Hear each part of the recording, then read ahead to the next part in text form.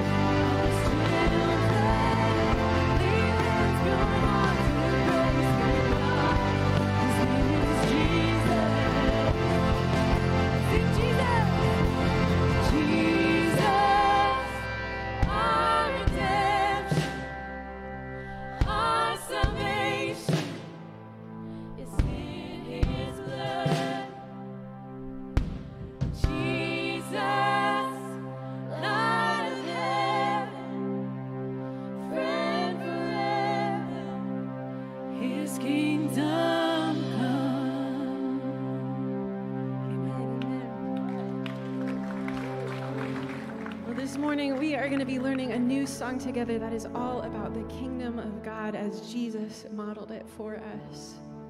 His kingdom is humble and gentle and generous and often feels backwards or upside down to what this world says is successful or powerful. In his kingdom, the last become first, and those who mourn he calls blessed because they receive the comfort of God. And in this song, the chorus says this simple prayer May we live and breathe your praise.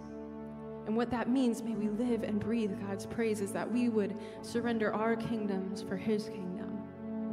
And this week, as I've been listening to this song, the whole song paints this beautiful picture of what God's kingdom really looks like. And there's been one lyric in particular that's been standing out to me that says, We want to see people the way Jesus does. We want to see people the way Jesus does. And I've been thinking about Jesus' life and how so often he moved towards people that were considered outcasts, unclean, unworthy, maybe even just simply ordinary. And he moved towards them with love. And he saw them and he affirmed their intrinsic worth and value, the imago Dei in them. And he gave them a place to be welcomed, to belong, and to contribute to his kingdom. And I want to see people that way. I want to see them just like Jesus did, and I want to move towards them with love just like Jesus did. So, as we sing this song, I want to encourage you to just be listening really thoughtfully and singing thoughtfully through these words and consider what one God might be having stand out to you a little bit extra. And as we sing those words, may we live and breathe your praise. Let that be your prayer. That God would help you to live out that kingdom value of His in your. I'm going to teach us this chorus and then we're going to sing it together. It goes like this Hallelujah, hallowed be your name. May we live and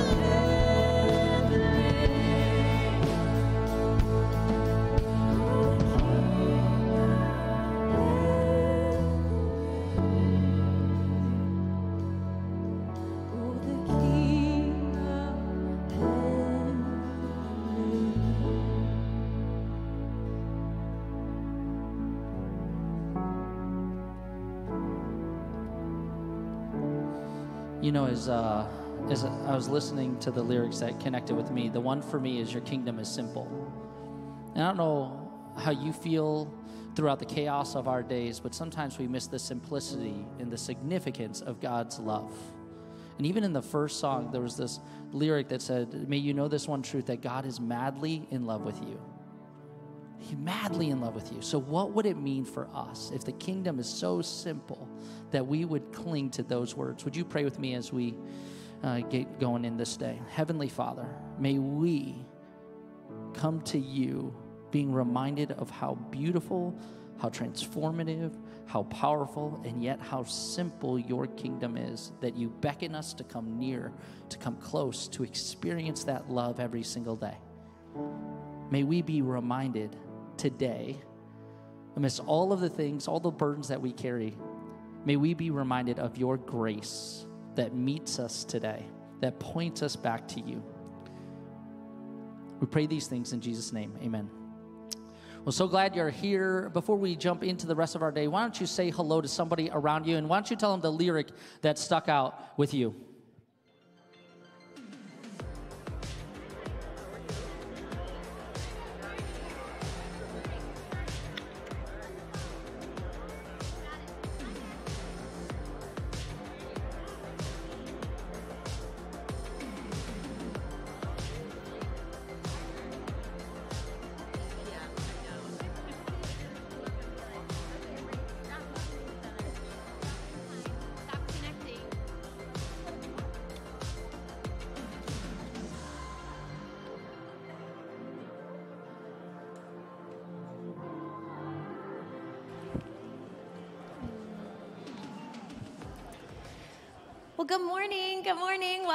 Kensington. My name is Jenny, and I'm on the team here at Kensington Birmingham, and I have my friend Carol up here with me. Would you just give her a little welcome? Uh huh. Uh huh.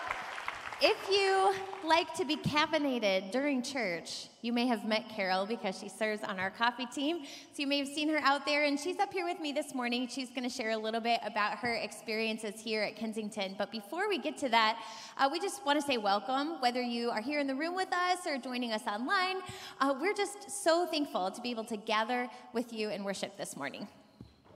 Good morning, everyone. I'm thrilled to be here.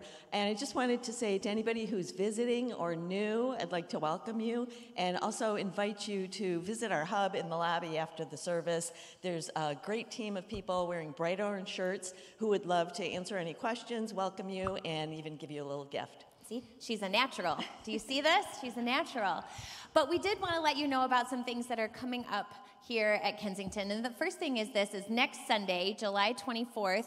You may have already seen or heard that this was supposed to be our outdoor service. And unfortunately, Grove's uh, renovation timeline has been a little bit backed up based on what you see happening in the back parking lot back there. And so the service is going to be moved here inside into the auditorium, but everything else about the morning is going to stay the same. So it's going to be a beautiful family service. So if you have kids or students who normally go down to our kids or student programming, they're welcome to come with you into the service next week. We're going to have inflatables outside and games and a full lunch prepared for you. So please plan to come and make a day of it. And part of the service is going to involve baptisms. We're going to be celebrating baptisms together. And so I was hoping that Carol, you would be willing to maybe just share with everyone about your baptism because it was not too long ago, and maybe just share what led you to that decision. I'd love to, thanks. Um, for me, I know they often talk about these little nudges along the way, but for me, it wasn't a nudge, it was a great big shove. so I had been baptized as a child, and you know, I always thought that was sufficient.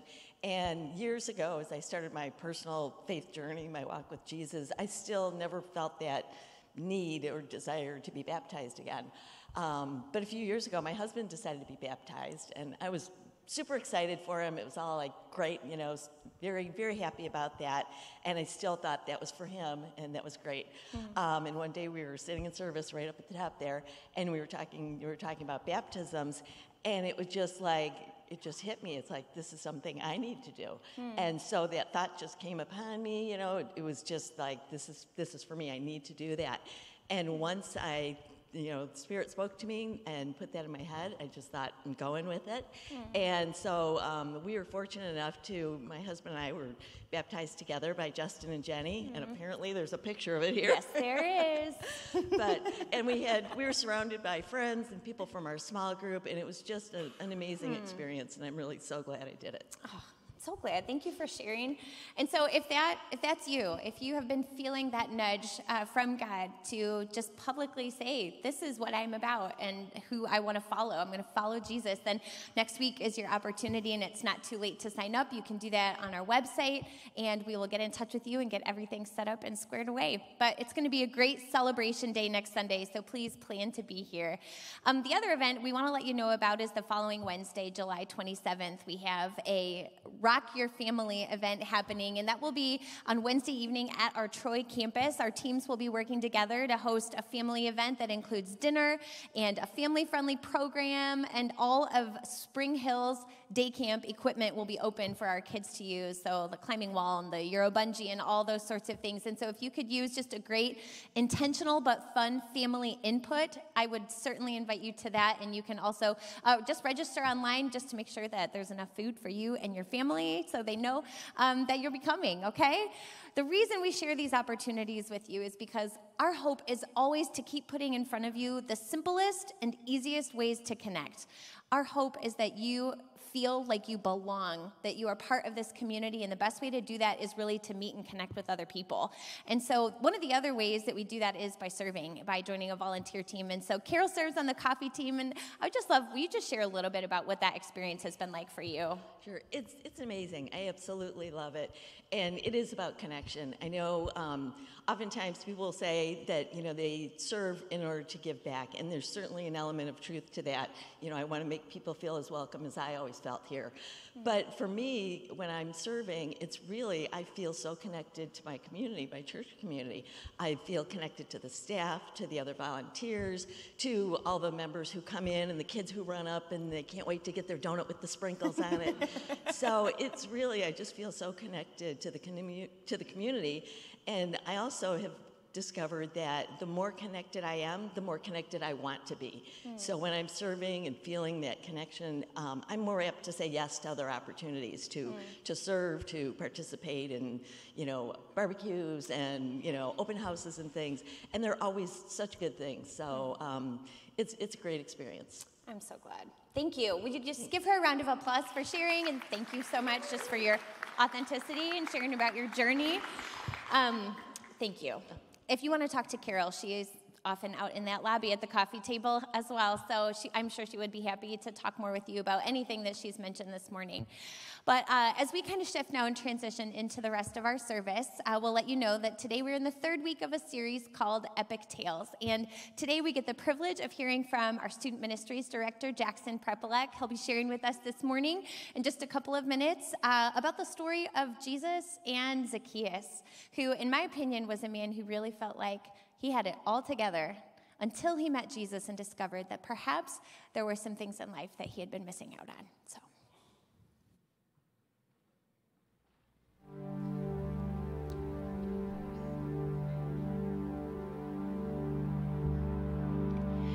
Have you ever noticed that gold sparkles in the light, but it's cold in your hands? Have you ever filled your cup thinking it would feel like enough, but it don't last? When you don't even know what you're reaching for. It's the absence that tells you there's something more. You could have it all. The whole world at your feet. Every little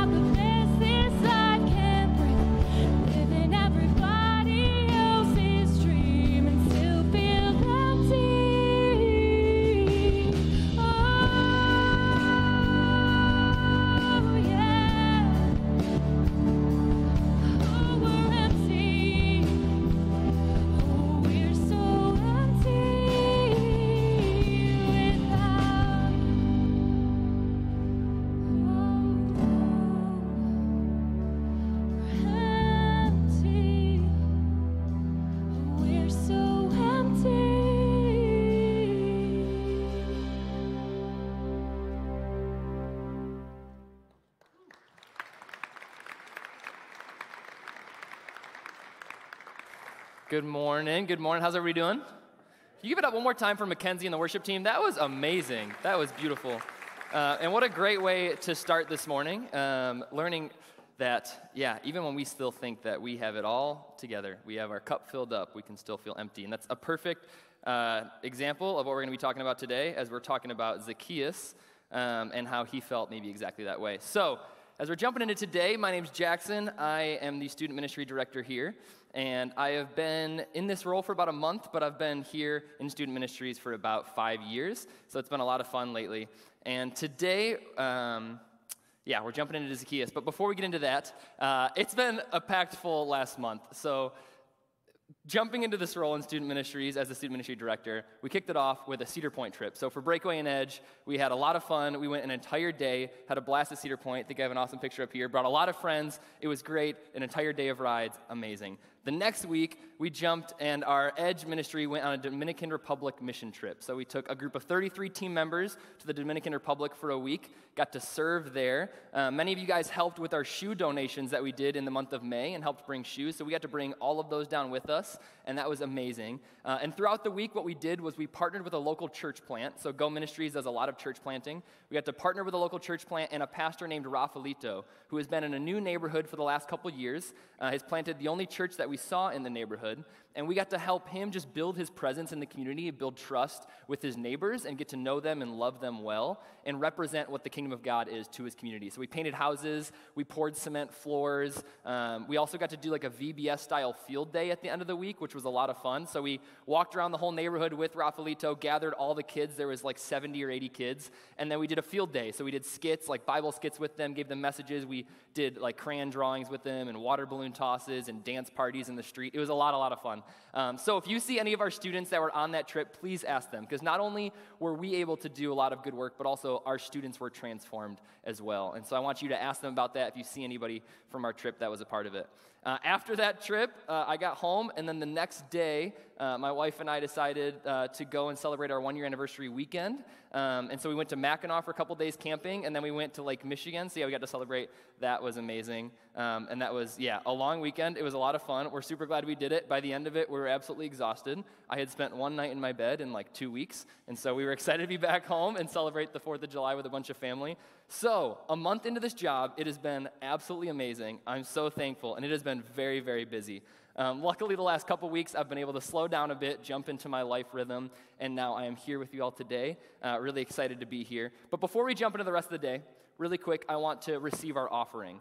Um, so if you call Kensington home, um, this is your moment to shine. If you are a guest, uh, we do not want you to feel any pressure in this moment. But all of those things that I just shared with you that our student ministry gets to do, uh, whether it's Cedar Point trips or Dominican Republic trips, or we actually have our middle school camp coming up in a couple weeks. That's going to be a lot of fun.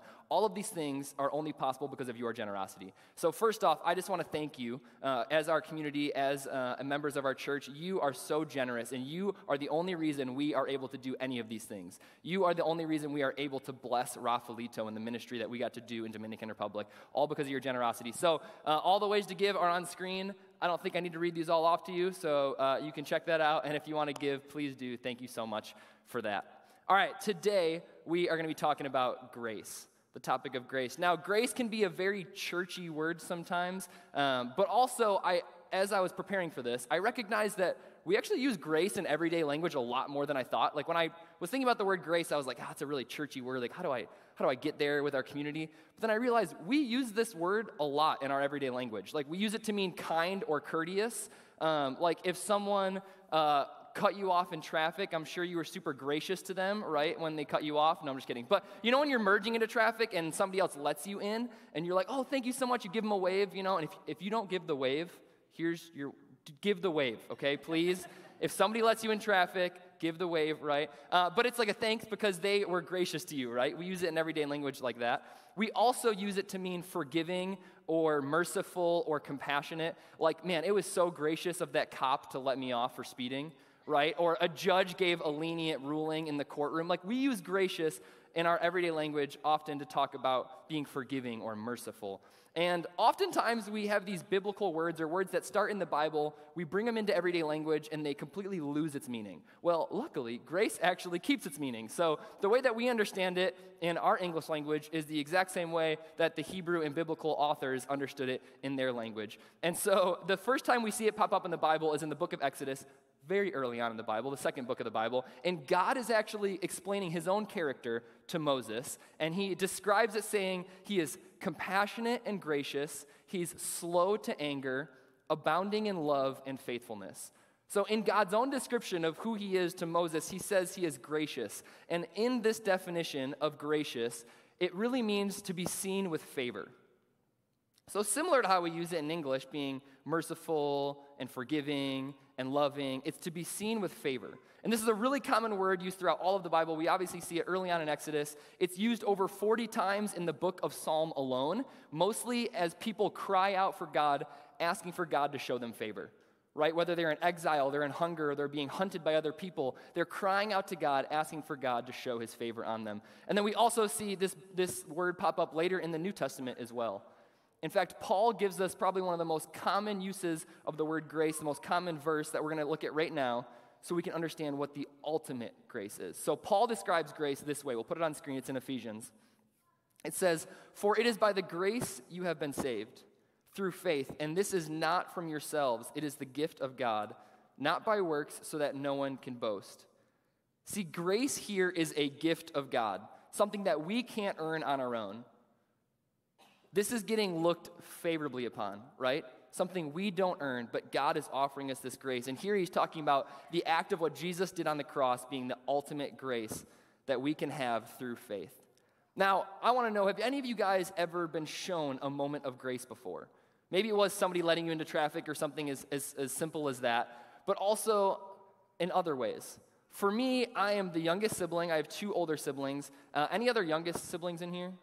All right, my people, my people, thank you. Okay, so you will understand this. If you're the youngest sibling, uh, you were most likely shown lots of favor, right? At least your siblings were like, you were shown the most favor. You were probably babied. You were probably given the most things. Definitely not me, but every other youngest sibling um, was definitely shown the most favor. No, it was probably true about me also. I like to deny it. It was probably true. But when I was growing up, I always thought my oldest brother was given the most favor. Like, by far. He was the first one to be able to have sleepovers. He was the first one to get video games. He was the first one, obviously, to drive, the first one to do anything in our house. He also owned the TV pretty much all the time that he was home, right?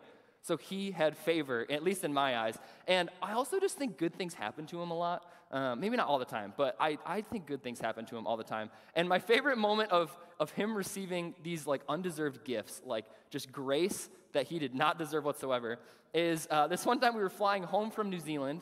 Uh, I was in New Zealand for a few months doing mission work, and my siblings came out to visit uh, before I got to come home. And so they came, we just did like a mini vacation for a week before I came home. So that was great. Vacation was awesome. We start flying home. We're on the same flight together, um, and my brother starts chatting it up with this flight attendant. And I'm kind of confused. He knows the guy's name. Obviously, he has it on his name badge, but you usually don't just like start calling somebody by their name Anyways, so he's talking to him. The flight attendant's super kind to him back, almost like he knows him. I'm really confused. Then the flight attendant apologizes to us that he can't upgrade us to first class or like any like economy plus or anything like that. I'm very confused. So I'm sitting next to my sister. We look at each other. We have no idea what's going on. My brother looks kind of confused, but like plays it off really well. And so the flight attendant apologizes. He can't upgrade us to first class. Comes back, brings us a bottle of champagne, is super apologetic, and then brings us back more blankets. He walks away, and I'm looking at my brother like, what is going on? My brother has no idea. So my brother was like, he was just our flight attendant when we flew down here. He was a super nice guy, really cool. So I remembered him, and so I just said hi, and now he's like just giving us all these things. So we had no idea what was happening, but it was really cool. So the rest of the flight, this is an 11 hour flight. We got first class food. I still remember we had duck confit at like 2 in the morning. It was the most amazing dinner ever. I don't know why I remember that. But we had that. We had blankets, uh, like as many blankets as we wanted. I think we each had two blankets. Uh, we got like as many snacks as we wanted. He checked in on us all the time. With every meal, he kept offering us champagne. I, it was, I was very confused. Anyways, we get to the end of the flight. I think we land in America. We're taxiing. And the flight attendant comes up to my brother and he's like, hey, I'm really sorry. I know you work for the airline, but I just can't remember your name. Like, who are you again? and my brother's like, dude, I don't work for the airline. You were just our flight attendant on our last flight there, and you were super cool. So I just wanted to say hi. And the dude thought it was so funny. Like, he laughed. He thought it was great. He thought it was just like a fun story. And then as we're walking off the plane, hands us like a full size bottle of champagne. All the other ones, like the mini ones that you get on planes. He literally tries to like give us more gifts. Like, it was absurd he, he played it really well, but it was very funny. And things like this happen to my brother, I think, a lot. Now, he probably thinks things like that happen to me a lot because that's how it works. But I think these things happen a lot. And that is the perfect example of an undeserved gift, right? That is being seen favorably. Now, he did not deserve any of those things, but boy, was he seen favorably. And of course, the flight attendant didn't, realize that we didn't deserve the gifts. Uh, but even once he did realize we didn't deserve the gifts, he kept giving us more gifts. But like every gift, that we can receive, things that we receive, it requires one thing of us. Every gift requires one thing of us it's that it must be received, right? For you to get a gift, the only act you have to do is to receive. And so, as we're about to see, uh, people often respond in two different ways to the grace that God offers us. So, if grace is what God's offering us as an undeserved gift to be seen favorably upon, there are two different ways that we often see people respond. And so we're going to look at these two different people that are going to represent our two different ways that we often respond to the grace of God. So Jesus sets these up in the book of Luke. We're going to be in Luke 18 and 19 today. Obviously, the story of Zacchaeus, we already kind of mentioned, and then also the story of the rich young ruler, we're going to jump into and see what it looks like um, to respond to grace. Now, as we're reading these two stories of these two different people, I want you to be thinking about which one am I similar to? Which one do, do I have a tendency to fall into that trap? Which one resonates with you more? Because I'm kind of curious as you, as you read through this, do you resonate with either of these two people? Because I have a feeling every single person in this room will resonate with one of the two people. So we're going to jump into Luke 19. We'll be looking at the story of Zacchaeus first. Uh, so it starts in verse 1. We'll pick up the story. Jesus entered Jericho and was passing through. A man was there by the name of Zacchaeus. He was a chief tax collector and was wealthy.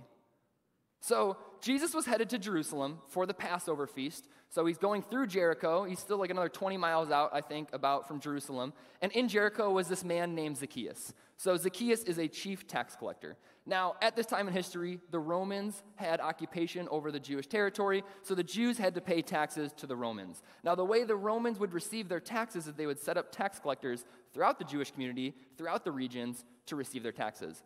But the interesting thing was almost all the tax collectors were Jewish people. So they would recruit Jewish people to collect their taxes for them. So these Jews would take taxes from their own people. But not only that, is they would often add a little extra on top of that tax, pocket it themselves, and make a little bit extra money. So tax collectors, not the most liked people in the Jewish community. They cheated their own people by taking their money. They were traitors to their own people by helping out the Romans who were occupying them at the time, and they didn't really like the Romans that much. And so we have this man named Zacchaeus, who we're introduced to as the chief tax collector. This man was most likely the most hated man in his neighborhood, in his village, in his region, because he was a tax collector and he was head of all the tax collectors. And that also made him a very wealthy person. So he's not very well liked. So we're going to continue the story. Verse 3 he wanted to see who Jesus was, but because he was short, he could not see over the crowd. So he ran ahead and climbed a sycamore fig tree to see him. Since Jesus was coming that way, when Jesus reached the spot, he looked up and said to him, Zacchaeus, come down immediately. I must stay at your house today. So he came down at once and welcomed him gladly. All the people saw this and began to mutter, He has gone to be the guest of a sinner. But, G- but Zacchaeus stood up and said to the Lord, Look, Lord, here and now I give half of my possessions to the poor. And if I have cheated anybody out of anything, I will pay back four times the amount. Jesus said to him, Today salvation has come to this house, because this man too is a son of Abraham. For the Son of Man came to seek and save the lost.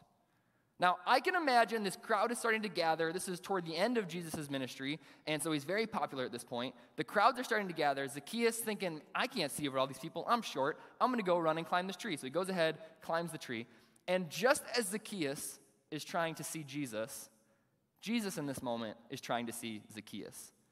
So Jesus calls Zacchaeus down from the tree, says, Hey, Zacchaeus, I'm coming over to your place tonight. You're hosting me. And I can imagine the crowd being like, What is going on? Jesus just picked the person we all hate the most. It's very obvious. They all know who this man is. None of them like him. Why did Jesus just pick this person to say, hey, I'm coming over? He could have picked anybody to go over to their house. Maybe somebody more well liked that would want to throw a party and everyone would want to be there. No, he chose this person in full display of everybody. And I can imagine nobody understanding why.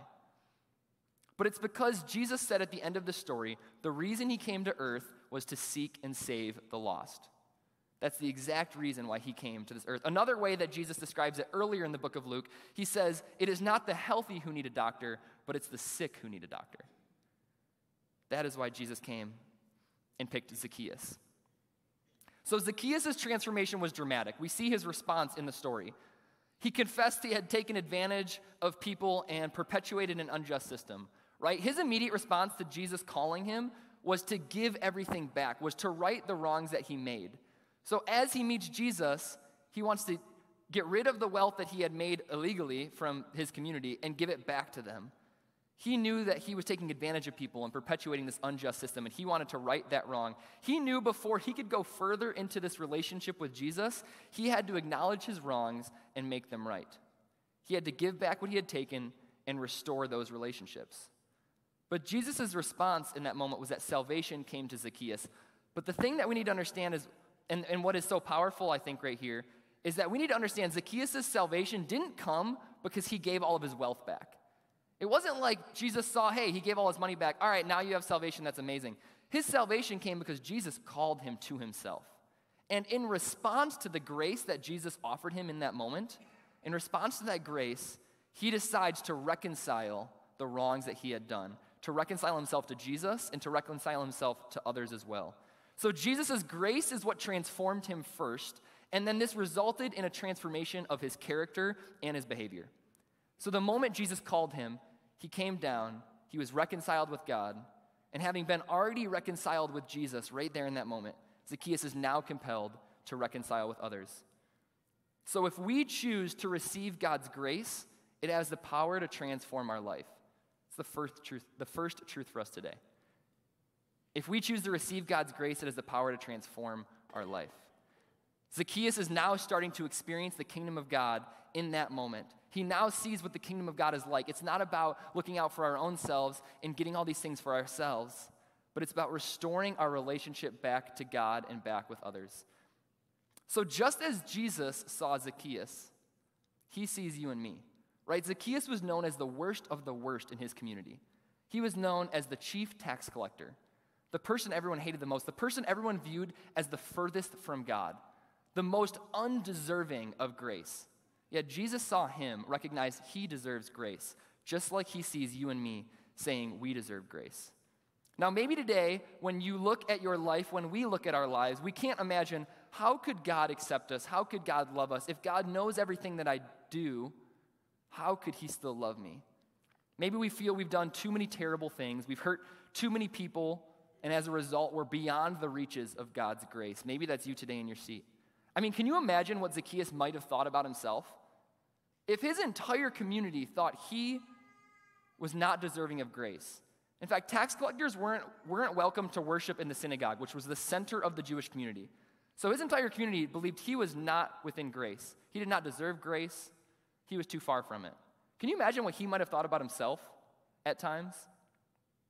And maybe that's some of us here today. But the extraordinary nature about God's grace, the reason it's God looking favorably upon us, is because it's not based on what we've done or what we will do in the future, no matter how amazing or terrible, terrible those things may be, but it's solely based on what Jesus has already done for us on the cross. That's what grace is about. And as a result, no one is beyond the reach of God's grace. Early on in my faith, um, kind of right after, a few months after I was all in on my faith, I had a moment where I decided I am going to follow Jesus full force. About three months later, I fell back into a couple sins that I wanted to get rid of in my life, and for seven months couldn't talk to God, couldn't pray to God. I still showed up to some worship services. I was still around friends that had great relationships with God, still had conversations. Other people would pray around me, but I just couldn't do it. For seven months, I couldn't talk to God because I couldn't forgive myself. So if I couldn't forgive myself, how could God forgive me? And I couldn't reach out to him. I viewed myself the way I believe Zacchaeus could have in many moments. See, I didn't want to go to God because I felt I would feel more guilt and shame in going to Him than I would just suppressing it down. And maybe you view God the same way I did in those moments.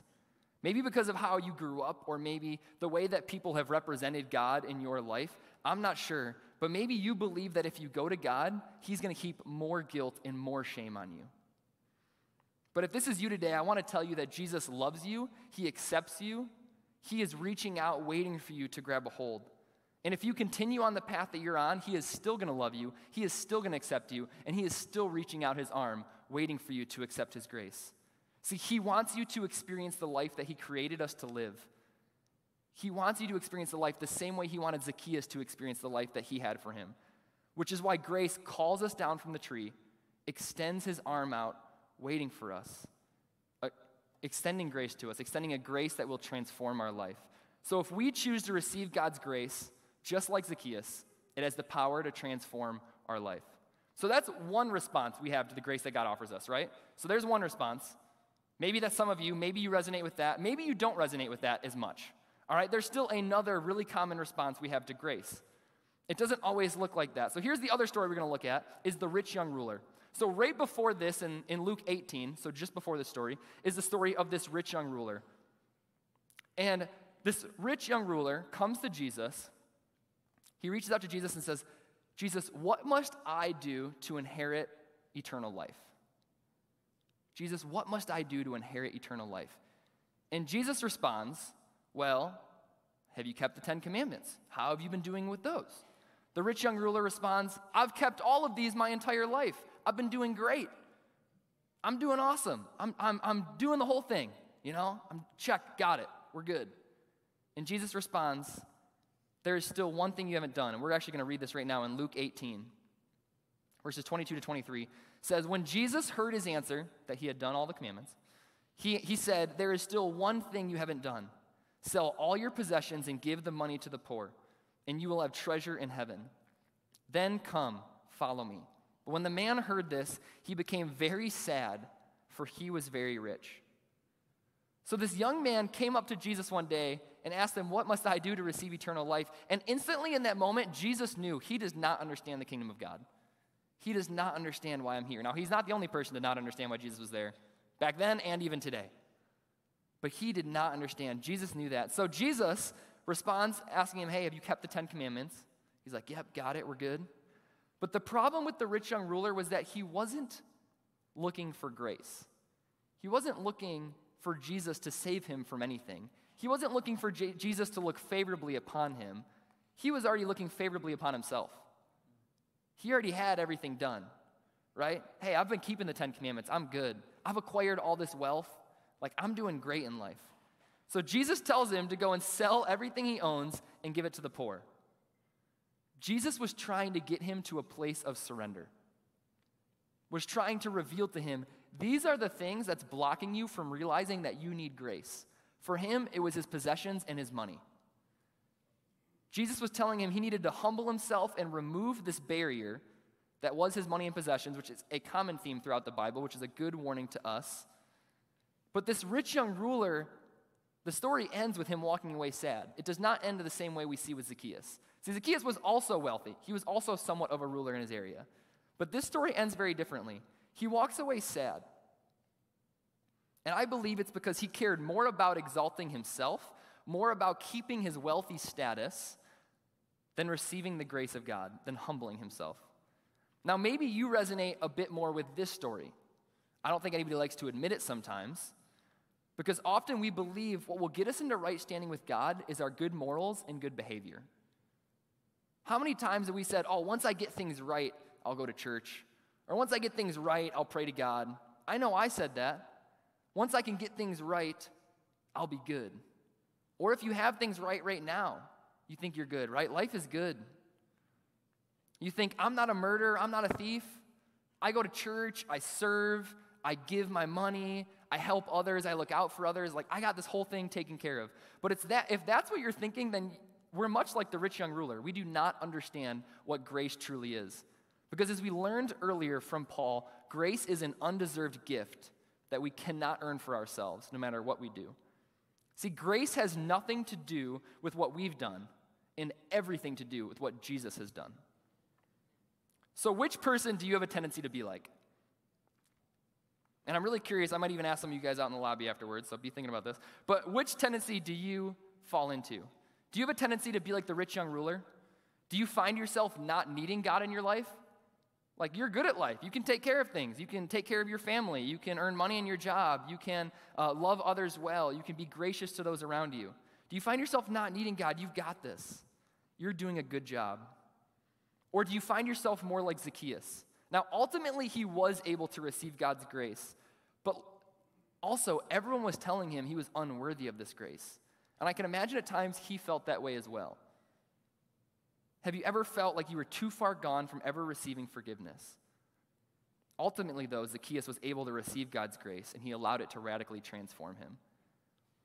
The really cool thing about scripture is Jesus often gives us these like punchlines or these main points or like, hey, here's what to get out of this. And with these two stories, Jesus actually sets up both of these stories before even telling the stories. And he gives us this punchline uh, in Luke 18 14. I just want to read this real quick. And it's about a ruler and a tax collector. And then we see a story about a ruler and a tax collector. It's about a Pharisee and a tax collector. And then we see those two stories. And here's what Jesus says He says, I tell you that this man, rather than the other, speaking of the tax collector instead of the ruler, this man, rather than the other, went home justified before God. For all those who exalt themselves will be humbled, but those who humble themselves will be exalted. This right here is the warning and the encouragement for us today. For the rich young ruler, it's the encouragement and warning to humble ourselves, to remove the obstacles that create our own self righteousness. Oftentimes, we place these own obstacles in front of our own in front of ourselves. Right? Why is it harder to fit a camel through the eye of a needle than it is for a rich man to get into heaven? Because it is really hard to let go of that obstacle of money and possessions. And that money and possessions creates self righteousness. It shows that we can do this, right? We can do this whole life thing. Like, we got it. right? When you get those things, when you get money and possessions, it's easy to be like, I got this life thing figured out. For the rich young ruler, you have to change your perspective to be less about what you're creating and more about what God has already done. Receive the grace that He is offering you. See, the work has already been done. You don't have to work to receive grace, but you do have to receive it and then watch your life be transformed. Now, for the tax collector, the other side of the coin is to climb the tree. Lift your eyes to heaven. Just as Zacchaeus had to go and climb the tree because he wanted to go see Jesus, that's the encouragement for us today. You are never too far from the grace of God. He died for all of us. See, Jesus' parables are littered with invitations of grace. We have the hundred sheep with the shepherd, the one sheep goes astray, and the shepherd leaves the 99 to go after the one, right? Showing us that he will reach us. We are the one. Each of us here today is the one that Jesus is reaching after. We see the story of the prodigal son, right? Where the son runs away and the father's waiting for him to come home with his arms outstretched and he welcomes him and he celebrates him when he comes home. We are the prodigal sons, right? We see so many opportunities of God offering us his grace, and all we have to do is receive it. But like I mentioned earlier, that is the one step that we have to do is we have to receive it. We must receive the gift of God's transformative grace daily. It's the main truth for us today. We must receive the gift of God's transformative grace daily. And daily is that last word. That last word we haven't talked about, I think, is the hardest part of it. It's not this right here. See, this right here, for me at least, is kind of easy. It's easy to receive grace when we're in church. We think we're where we're supposed to be, we think we're doing the right things. We feel like, all right, we get, we're, we're in a place where we're supposed to worship God. I can receive grace here. But then every other day of the week can be difficult. See, it's not about just right here. The hardest part for me is doing this daily, doing this every day. The days where I wake up and I feel self righteous, for me, it's often Sundays, right? I'm on here on a stage giving you guys a message about the Bible. It's really easy to feel self righteous, right? Days like this, I can feel self righteous. Days where I have it all together, I'm loving my wife well, I'm loving others well, I'm looking out, I'm giving money to the homeless man on the side of the road. Like, those are the days where I can feel self righteous. But then there's other days where I wake up, maybe on the wrong side of the bed or whatever reason it is, and I'm not loving my wife well, and I'm rude to her and I'm cutting other people off in traffic. And I'm not looking out for others, but I'm just looking out for myself, right? And on those days, I still need the grace of God that day, right? So I kind of set up this, this thought where you should choose which person you might be. But I think if we're all being honest, I know for if I'm being honest, I can be both of these people, sometimes in the same day, likely in the same week, and I can guarantee it in the same month. So for us today, we have to receive God's grace daily and continually be transformed. See, just as I said earlier, right after I was all in for Jesus, three months later, I couldn't even pray to God. But why was that? It was because I received grace once and thought I was good. I didn't, I, I received it, right? I got God's grace and I'm good. But then what happens when I fell into the sin that I thought I was done with? Well, I wasn't receiving God's grace anymore. So how could I go back to God? And that's the truth for us today is it's not just a one-time thing, it's a daily thing. And watch how our life will be transformed just as Zacchaeus' was transformed. Watch how your life will be transformed when you receive God's grace daily. So the question is will you receive God's grace today? Will you receive God's grace tomorrow? Will you do it every day this week? Will you do it going forward? Will you receive God's grace daily? I'm going to pray for us that we will receive God's grace daily. Um, after that, we are going to jump into communion and worship to end our day. So, will you guys pray with me? Jesus, may we receive your grace today. God, may we receive your grace tomorrow. Give us the boldness to climb the tree, to look for you, and to open our eyes to heaven. Give us the strength to humble ourselves, to recognize that we cannot earn the kingdom through our own good deeds. It is not about what we are doing, what we have done, but it is about who you are and what you have done on the cross. Lord, open our eyes to reveal that truth. Remind us of that truth each morning as we wake up. Remind us how much we need you in our lives and that it is your grace alone that we can receive your transformation. Lord, we love you so much. It's in your name we pray. Amen. All right, so we are going to be jumping into communion next. All right, and we're going to do it a little bit differently today than we normally do it. Normally, it's nice and easy. You stay in your seat, the amazing ushers come by and hand it out to you, and you don't have to go anywhere. It's great, right? Today is going to be a little different. It's going to be a little bit uncomfortable, most likely, for some of us. What we're doing today is we have four different stations to receive communion. So we have two up front here and two in the middle. We'll have ushers at those stations. And throughout this entire next song, it's going to be more of a reflective song for you instead of a worship and praise song. Uh, a more reflective song, you can, at some point during that song, stand up and boldly go to one of those stations to receive your communion. You can come back to your seats with the little cups of the, the juice and the wafer and receive communion when you're ready. And this moment for our community, as a reminder of what communion is, it's a remembrance of what Jesus has done on the cross. It is his body broken for us, it is his blood shed for us. This is God's grace offered to us. This communion right here is the perfect example of God offering us grace, offering his own body, and for us in remembrance to receive that. So, this is a literal practice today of us receiving God's grace. But you have to receive it. You have to boldly stand up and go and take it. So we're going to be doing that right now. Um, and throughout the entire next song, I encourage you to boldly stand up, go, take the communion, bring it back to your seats, and receive the body and blood of Christ.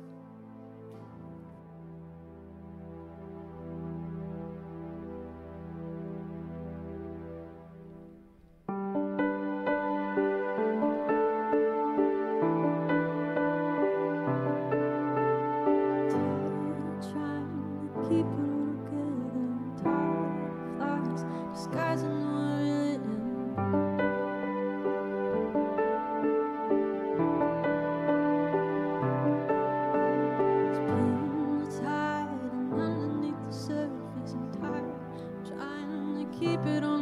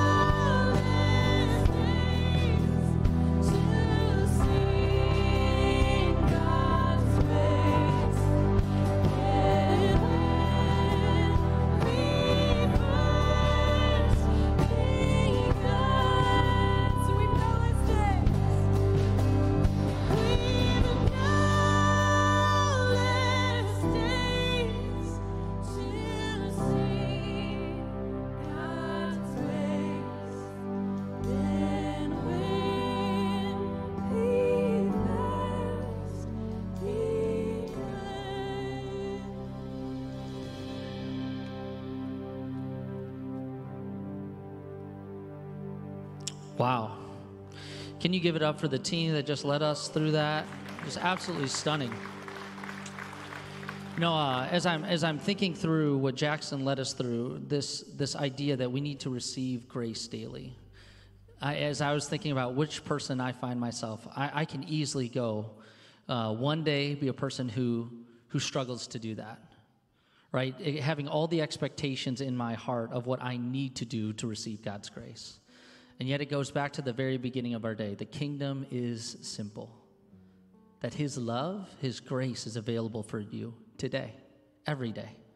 And when we lean into that, we experience a whole new vision for our lives, whole new value, and we move differently into people's lives. It is so transformative, the grace of God. Would you join me in thanking Jackson in leading us through that today? Absolutely. I'll tell you this, parents, uh, what a gift to have Jackson and his team. Uh, he hates that I'm doing this, by the way, but his team leading through the next generation of middle school and high schoolers and inviting them to experience what they're experiencing. It is it is one of the most beautiful things our church gets to be a part of because it's not just a next generation, it's a now generation. I'm sitting up here watching Ainsley leading us in worship today. Sorry, I, my apologies. Uh, but I remember going to camp NTS, your freshman year, and your journey of growing in your relationship with God to then be here leading us in song. It's one of the most beautiful things we get to be a part of. This is the kingdom and the community when we come together. Amen?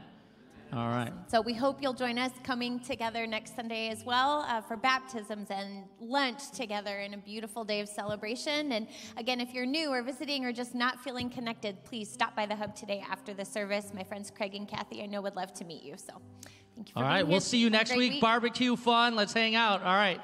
Have a great week, y'all.